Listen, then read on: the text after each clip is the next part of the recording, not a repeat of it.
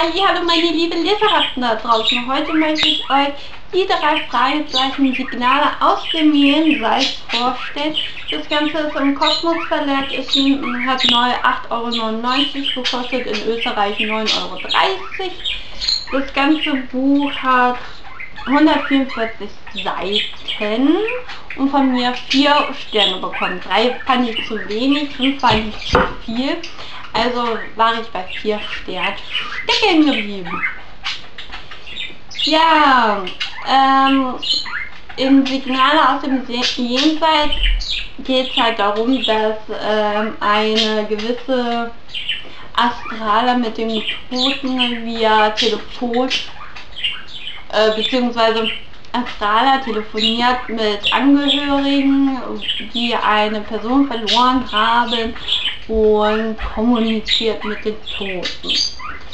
So, ähm, Bob Andrews äh, soll sich diese Show einmal angucken und ist ganz verblüfft von dieser Stimme und ähm, erkennt auch die, eine gewisse Person darin, die auch in zwei oder drei früheren Fällen, wenn ich nicht vergesse, blende ich es unten ein, ähm, da drin vor, äh, vorkommt und ja ähm, und er ist dann auch ein äh, ist am Anfang dann auch ähm, in diesem Aufnahmestudio mal drin, um wirklich zu gucken, ob das wirklich diese Person eben ist.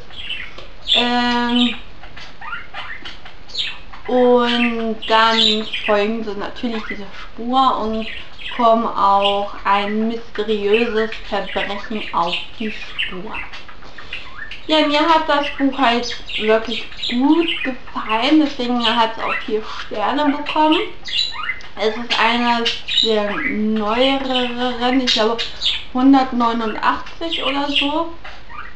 Ähm, hier tauchen halt zwei Charaktere auf, die schon damals aufgetaucht sind. Das finde ich auch interessant. Vor allem die eine finde ich sehr interessant, weil die mit Bob schon einiges zu tun hat.